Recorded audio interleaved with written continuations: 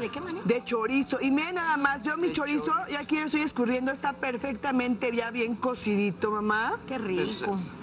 A mi mamá le encantan las fritatas, mí- hacer a mí fritatas. también. Me gusta, es como que una mucho, manera fácil para cualquier situación, por ejemplo, para una merienda, Para una meriendita. para un fácil. desayuno, Sí, para un lunch, por ejemplo, está buenísimo. Para la hora que quiera, señora. Exacto. Y además es tan fácil de hacer. Siempre va a tener alguna proteína, algo de... ¿Verdura? De verdura.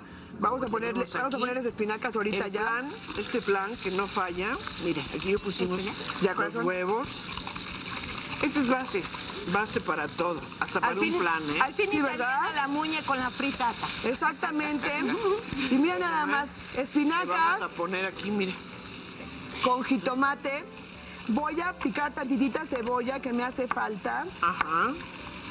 Fíjate qué combinación de sabores. Me gusta la idea, sabores, me encanta. textura. Fíjate que me gusta más. Sí. Ni estás acostumbrada a comer. Ni estoy acostumbrada. El abuelo las hacía tiro por viaje. Era como que su comida pre- preferida, La fritata. la fritata. Dilo como italiano, fritata, bambino, fritata. Así Bueno, como. yo ya le puse la leche, ya ahora le voy a poner ¿Qué le vas a poner, Queso. Manta? ¿El queso? el queso. Muy bien. Y este que tenemos aquí es para ahorita que salga, la ponemos en un molde. Ajá. Ok. Van a ver qué lindo. Gracias, A niña. ti, mi vida. Ya estamos Mira que listos. ya está casi lista la cebollita, ya está, mamá. Si no es fácil, señora. Y huele quede, delicioso. y quede como reina. Quede exacto. Fíjense que a mí me gusta el jitomate. El sabor del jitomate cherry me gusta en estas fritatas mucho más que el jitomate entero. ¿Por qué? Porque aparte, para, por ejemplo, cuando parte uno, el jitomatito se te va completo, se ve muy lindo y se ve ¿Y el muy sabor? apetitoso. Y el sabor es completamente diferente. Ok, mami, ¿Ya? Ya nos viene. ya.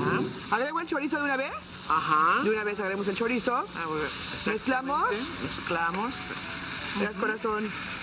Mira, mamá, qué rico está esto. Y es una fritata que estoy haciendo en un, en este sartén de hierro forjado. Les voy a contar un poco. Yo esta le voy a llevar a la mesa. No lo voy a desmoldar porque aquí va a estar mucho más complicado que se desmolde.